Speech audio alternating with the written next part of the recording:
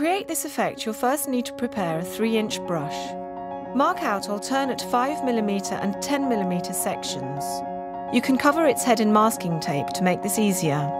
Once you've finished, cut away the bristles in the 10mm sections and you'll have the perfect tool for the job. Before painting, measure out pencil guidelines at regular intervals using a piece of paper and a spirit level.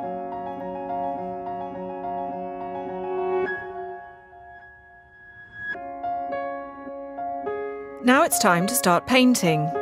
With the edge of your brush against the guideline, pull it down towards the floor. It helps to dilute your paint with a little water for this technique, so it flows from the brush easily. Once the first colour is dry, you can add in other colours to bring the effect to life.